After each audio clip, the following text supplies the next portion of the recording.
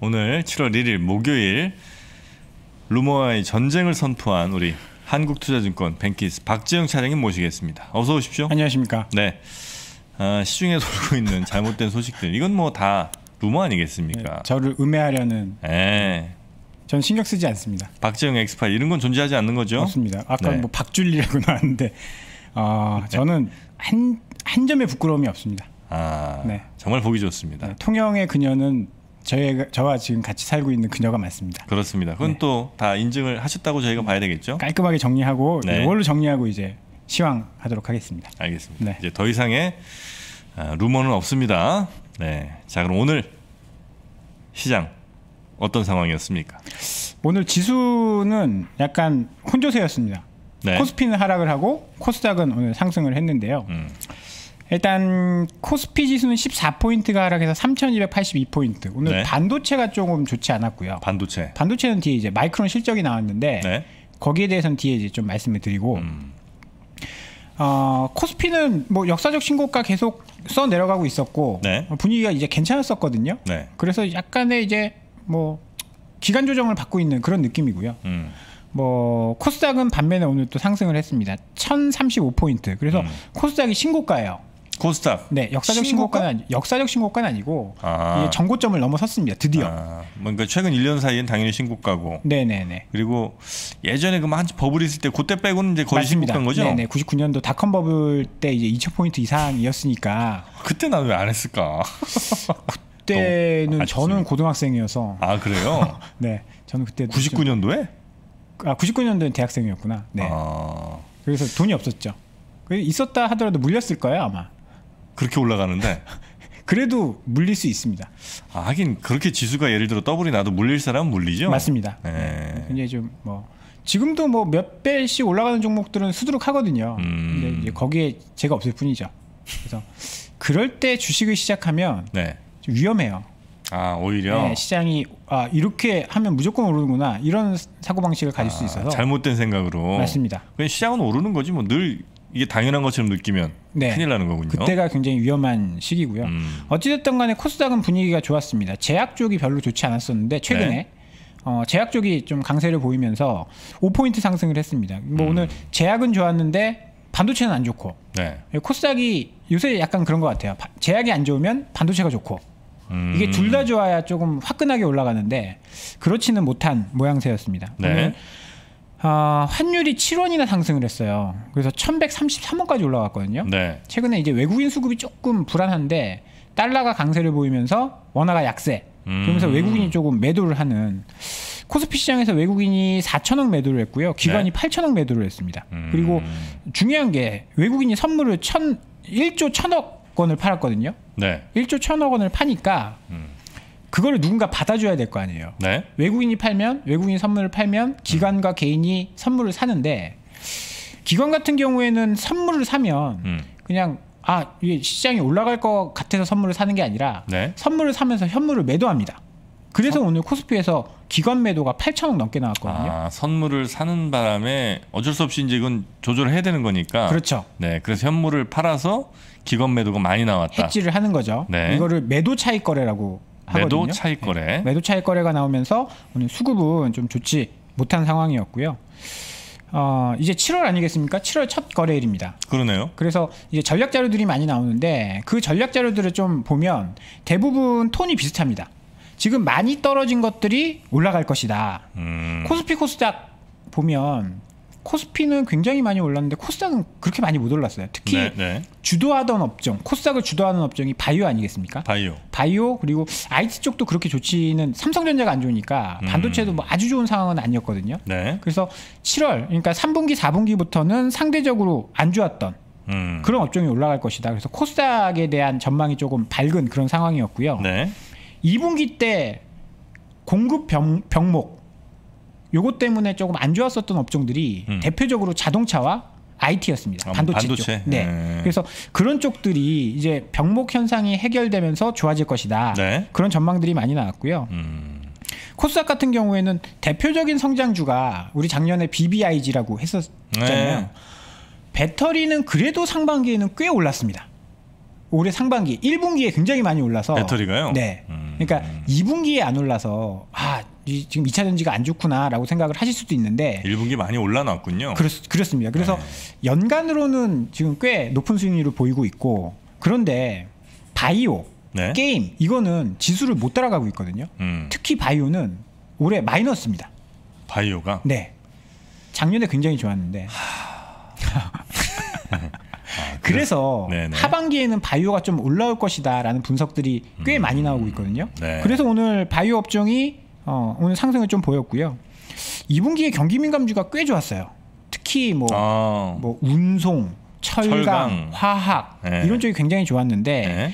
그러다 보니까 2분기에 대한 실적 약간 우려가 있는 상황이에요. 눈높이가 굉장히 높아진 상황이거든요. 음, 물론 이제 2분기의 실적이 안 좋다라는 게 아니라 2분기에도 좋긴 할 건데 그 기대치가 매우 높아졌기 때문에 그거를 추가적으로 충족할 수 있겠느냐 음흠. 이런 우려들이 지금 있는 상황이어서 네. 조금 부진할 것이고 그래서 3분기에는 다시 성장주로 복귀할 것이다. 음. 2차 전지 쪽 굉장히 좋았거든요. 네. SK 이노베이션 빼놓고 음. SK 이노베이션도 지금 뭐 채팅창이 많이 글이 네. 올라오던데 많이들 궁금해하시네요. 그 이야기도 정리를 좀 해왔고요. 네.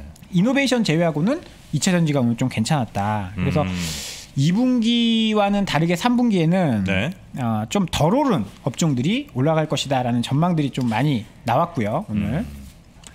자, 그럼 어떻게 바로 그럼 한번 SK 이노베이션 얘기 좀 한번 해볼까요? 지금 뭐 채팅창이 난리 날 것 같은데 네. 그러니까 SK 이노베이션에 무슨 일이 있었던 거예요? IR을 했습니다. Story Day라고 네. 앞으로 우리가 이, 이런 이런 이제 일을 할 거예요.라는 이제 어, Story Day? 네 요새 그런 day 많이 하더라고요. 테슬라 아. day 이후에 막 이런 것들 뭐 많이 배터리 하- day처럼 Story Day를 했어요. 네 맞습니다. 예, 그런 걸 했는데 거기서 나온 이야기는 뭐 정리를 해보면 네.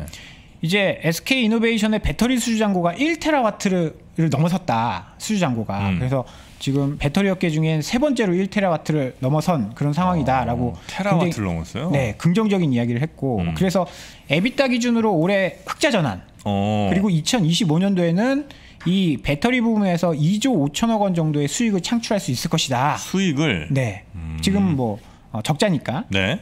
그런 어, 전망을 했고 SK IET 상장하면서 상장에 음. 성공하면서 이 분리막 분리막이 현재 14억 제곱미터 생산을 하고 있는데 네. 이게 25년까지 40억 제곱미터로 확장될 것이다. 그래서 세계 1등을 음. 유지할 수 있을 것이다. 그런 어, 이야기를 했고 2050년까지 SK 이노베이션이 정유업체잖아요. 정유화. 네, 네. 그래서 탄소를 굉장히 많이 배출하는데 네. 산소 순배출을 제로로 제로 목표로 어 그러니까 뭐 친환경 사업을 탄소 넷 제로. 네 네. 그러니까 어 정유나 이런 데서는 탄소가 배출될 거잖아요. 네. 근데 2차 전지에서는 그런 것들을 세이브할 수 있으니까 넷 음. 그러니까 어, 더하기 빼기해서 거의 제로 수준으로 만들겠다 네. 그런 목표를 발표를 했는데요. 문제가 되는 건 일단 어, 자회사에 대한 지분 매각, 자산 음. 자산 효율화 등 다양한 포트폴리오 옵션에 대해서 네. 검토를 실행 중이다.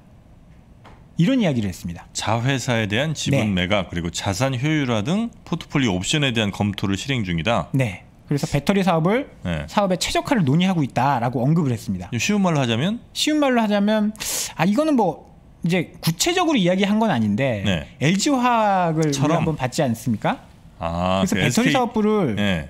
이, 그 인적 분할하는 게 아니냐 네. 그런 논란이 나오면서 오늘 어, SK 이노베이션이 급락을 했습니다. 장중 8%까지 하락을 어, 한 상황이고요. 음. 지금 최근 2, 3조 원의 배터리 투자가 매년 이루어지고 있는데 네. 이 돈을 어디서 구해야 되거든요. 음. 그래서 아, 투자 타이밍을 놓치지 않기 위해서 무언가 빨리 결정을 하겠다. 근데 이거는 사실 어, 이사회 논의가 필요하고 주주 주총의 승인도 받아야 하기 때문에 음. 뭐 자세한 설명은 하지 않았지만 네. 어, 일각에서는 일각에서는 시장에서는 야 이것도 분할해서 상장해서 자금 뭐 조달하겠구나 음. 이런 이제 어, 분석들이 좀 나와서 주가가 좀 안 좋았습니다. 뭐만 하면 다 분할. 좀 된다 싶으면 다 분할하시네. 일단 돈이 필요하니까요. 네. 이제 성장하는 사업이고 돈은 필요한데 뭐 에, 혹시 그 JP 모건인가 거기서 얼마 전에 왜 좋다고 얘기했죠. 좋다고 하고 그 오늘 이제 네. 확 떨어진 거죠? 네, 그렇습니다. 아, 뭐 JPU. 뭔가 그런데 이슈.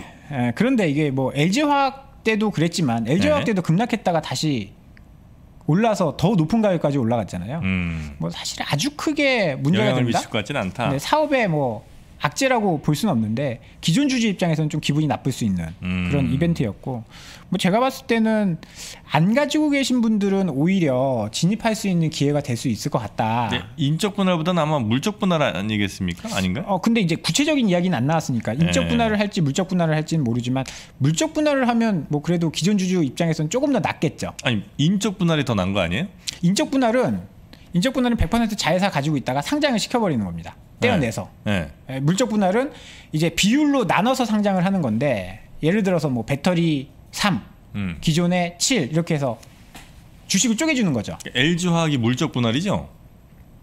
LG 화나 LG 화학이 아 물, 물적 분할이군요. 네. 인가요? 인적 분할. LG 물적- 화학이 제 얼핏 기억으로는 물적 분할이었던 것 같고 그래서 인적 분할을 한다면 음. 차라리 기존 주들의 권리가 뭐 크게 훼손될 게 없으니까 괜찮은데 네네. 다만 이제 새로운 돈을 끌어당기기가 힘드니까 물적 분할을 해서 이제 새 투자금 받겠다 대신 이제 기존 주주들은 그러면 알짜 사업 빠져 나가는 건데 이게 열받는 거 아니냐 이제 요- 요런 아마 이슈가 좀 있었던 것 같은데요. 아, 네, 맞습니다. 네. 제가 좀 잘못 알고 있었네요. 야, 네. 이제는 정프로 놀랍습니다. 대단합니다. 네. surprise. 네. 네. 어찌됐든 간에 인적 분할 논란이 있어서 네. 음, 주가가 좀 조정을 받았다. 음. 근데 이게 뭐 아직까지 확정된 건 있지 않는 거고 네네. 이제 배터리 사업에 대해서 뭔가 문제가 있는 음. 그런 부분은 아니기 때문에 네네네. 시장에서 너무 예민하게 반응할 필요는 없을 것 같다. 아. 그렇게 좀 봐야 될 것 같습니다. 네. 자, 그런 SK 이노베이션의 Story Day에서의 아, 분할 논란이 좀 있어서 아, 상당히 좀 주가에는 악영향을 미쳤다. 이렇게 이제 볼 수가 있겠고요. 그리고 또 어떤 이슈가 있었습니까? 오늘 중국의 이제 차이신 제조업 PMI 요게 발표가 됐는데요. 음. 네. 51.3이 나왔습니다. 음. 전월 대비해서 0.7포인트 하락했고 예상치 51.8보다도 하회했거든요. 음. 지금 걱정되는 게 어제 이제 통계국의 제조업 PMI도 조금 부진하게 나왔어요. 음. 그래서 중국의 제조업 지표 고점 논란이 오늘 좀 있어서 중국 음. 증시가 좋지 않았거든요. 이유를 어, 한번 찾아보면요. 광둥성의 델타 변이 바이러스가 음. 지금 확산되고 있다라고 합니다. 그러면서 아. 이제 공급 공급망 문제로 생산 지수가 주춤했는데 6월 이제 생산 지수가 51.0으로 작년 3월 이후로 가장 낮은 수치가 나왔다라고 합니다. 네, 네. 이게 네. 50 이상이면 확산은 맞는데 이 확산되는 거에 이제 뭐 어, 확산세가 조금 둔화됐다 네. 이렇게 이제 평가를 좀 하고 있고요. 신규 수주 지수도 3개월 만에 최저 수준으로 떨어졌다라고 합니다. 음, 음. 긍정적인 부분을 찾아보면 일단 고용은 7개월 만에 상승폭을 확대를 했고요. 네. 투입 가격 음. 지금 어, 원자재 가격 상승 때문에 많이 이제 고통을 받고 있는데 음. 상승세가 조금 둔화됐다. 음, 음. 그런 점은 이제 긍정적으로 볼 수 있고요. 네. 물가 상승 압력에 더해서 경기 둔화가 지금 앞으로의 중국의 심각한 과제가 될 것이다라고 네. 이게 어, 보고 있어서요. 음. 중국이 최근에 주가가 좀 좋지 못한데 음. 지표들도 좀 둔화되는 모습을 보이고 있어서 네. 중국의 하락이 우리 지- 우리 증시에도 조금씩 영향을 좀 미치고 있는 그런 음. 모양새입니다. 네. 자, 중국의 제조업 PMI가 좀 둔화됐다는 소식. 아, 그리고 어, 마이크론의 실적 나왔습니까? 네, 어제 이제 마이크론의 네, 이제 5월까지 3분기 실적 발표가 있었는데 네. 이게 오늘 반도체에 좀 악영향을 미쳤어요. 아. 왜냐하면 실적은 좋게 나왔거든요. 네. 실적이 어, 74억 2천만 달러, 음. EPS가 1.88 달러로 가이던스랑 컨센서스는 모두 다 상회했는데 어, 디램 가격을 보더라도 전기 대비 20%나 상승했습니다. 낸드도 음. 한 자릿수 후반대 high single 어, 가격 상승이 있었는데 이게 3분기에도 계속될 수 있겠느냐 음. 이게 조금씩 낮아질 건데 그렇게 되면 좀 걱정되는 거 아니냐 이런 우려가 있었고요. 네. 설비 투자를 조금 소폭 늘리기로 했습니다. 음. 근데 이게 삼성전자도 그렇고 하이닉스도 그렇고 지금 어, 지금 CAPEX 투자를 하고 있거든요. 네, 네. 공급을 늘리고 있는 상황에서 마이크론마저도 이렇게 늘리면 음흠. 지금 어, 공급이 계속 늘어나면 가격이 계속 떨어지는 거 아니냐. 이 우려가 전에도 좀 있었죠. 그렇죠. 네. 어, 거기다가 이제 고객 재고에 대해서는 네. 고객 재고가 지금 계속 확대되고 있다. 네. 예, 그 전에는 고객들이 재고를 많이 안 쌓아 가고 있었습니다. 음. 그 그냥 필요하면 그때그때 사서 조달을 해가는 상황이었는데 네. 반도체 부족 문제가 생겼잖아요. 음. 올해 이것 때문에 어, 재고를 좀 늘리고 있으니까 사실 재고가 어느 정도 쌓이고 나면 네. 수요도 줄어드는 것이 아니냐 이런 우려들이 생겨서 다음 주면 삼성전자 실적이 발표할 텐데 네. 삼성전자도 2분기 실적은 좋겠지만 하반기부터 조금 줄어드는 것이 아니냐 음. 이런 걱정들이 조금 있는 상황이어서 오늘 하이닉스가 주가가 좀 많이 하락을 했거든요. 아. 네, 그래서 반도체는 어, 마이크론의 실적 이게 2분기에는 좋지만 하반기에 대한 둔화 우려감 음. 때문에 반도체 전반적인 업종이 오늘 좀 네. 조정을 받았습니다. 아, 참 반도체 진짜 힘드네요. 반도체 갖고 있는 분들 진짜 네. 짜증나는 일들이 많이. 좋다고 좋다고 하는데 네. 삼성전자는 안 올라가고 속이 터지고 있는 네. 그런 상황입니다. 반도체 관련해서는 저희가 지난주에 한번 반도체 위크로 한번 정리해드린 적이 있습니다. 참고하시면 더 좋겠고요. 자 그리고 어, 6월 수출 발표되는데 그것만 짧게 좀 정리할까요? 6월 수출이 굉장히 좋게 나왔습니다. 6월 수출이 39.7%가 증가해서요. 이 예상보다 더 많이 나온 거예요? 그렇죠. 네. 예상보다 더 많이 나왔습니다. 6월 기준으로 최대. 어, 그 다음에 이제 월간 기준으로는 역대 세 번째입니다. 어. 그래서 4개월째 500억 달러를 넘어서는 네. 이제 6월 수출이었고요. 음.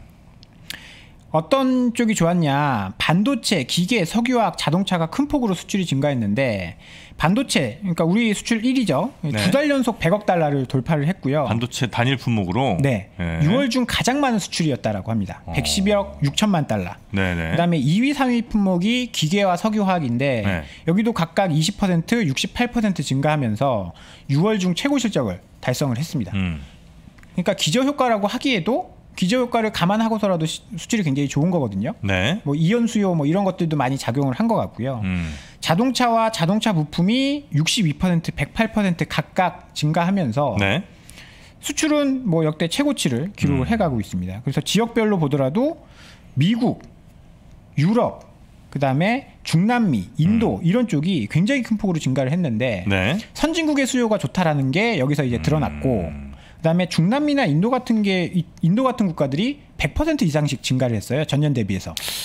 인도가 그러니까 인도도 사실 코로나로 영향을 굉장히 많이 받았는데 네. 지금 다시 공장이 돌아가고 있다. 이렇게 좀 해석을 해볼 수 있을 것 같습니다. 어, 남미도 그렇고 인도도 그렇고 코로나가 굉장히 빠르게 확산이 되고 있었는데 네네. 어, 이제 조금씩 안정을 찾아가고 있다. 이렇게 정리를 해볼 수 있을 것 같습니다. 네. 여기 이제 작년 대비인 거죠? 네, 전년 대비. 전년 이렇게 6월 대비. 네. 아마 전년에 워낙 또 안 좋긴 안 좋았었던 모양이네요. 그죠? 맞습니다. 중남미나 인도 같은 데가. 네. 자, 이렇게 오늘 어, 증시 마감 상황 그리고 주요 뭐 이슈들까지 좀 짚어 봤습니다. 우리 박정희 차장님 이제 오늘은 어, 일 끝나고 대구로 가십니까? 아, 오늘은 와이프가 이쪽으로 온다 그래서 외식을 하기로 했습니다. 그 사과의 거제도- 의미 사과 아니 사과 네. 아닙니다. 사과 사과할 게 네. 없으시잖아요. 사과할 게 없죠. 네. 네. 그래서 즐거운 데이트 하시고. 네. 네. 어떻게 소화제 좀 사드릴까요? 논란은 여기서 끝으로. 논란 이제 이제 더 이상은 없습니다. 네, 이제 이제 놀랄 없습니다. 거리도 아니죠. 이제 가족은 건드리지 않는 거예요. 아유 건드린다고 그게 뭐 영향도 없고요. 네. 워낙 탄탄하시니까. 그렇습니다. 네, 그럼 오늘 즐거운 저녁 식사 아, 우리 또 아내분과 함께 하시고 네. 좋은 저녁 또 늦둥이 한번 또 볼까요? 아니 그렇지는 않습니다. 그건 안 될까요? 두 명이면 충분합니다. 알겠습니다. 자, 그럼 오늘 함께 해주셔서 대단히 고맙습니다. 네, 감사합니다. 네, 박지영 차장이었습니다. 코로나19 백신 1차 누적 접종자가 오늘 오전에 천만 명을 돌파했습니다. 9월까지 모두 2,300만 명이 접종을 끝내야 하는데 이 접종 속도는 더 빨라질 것으로 보입니다. 1920년대가 떠올려지는 지금의 모습, 코로나 이후의 시대, 우리는 어디에 투자를 해야 할까? 3프로TV 주식대학 여름학기, 리서치 명가 메리츠 증권, 이경수 사단의 최고 애널리스트들과 함께 필기하며 공부하는 하반기 투자 전략과 업종별 시장 전망. 여러분의 하반기 수익률을 책임질 총 24강의 투자 전략. 페이지 2 앱에서 확인해 보세요.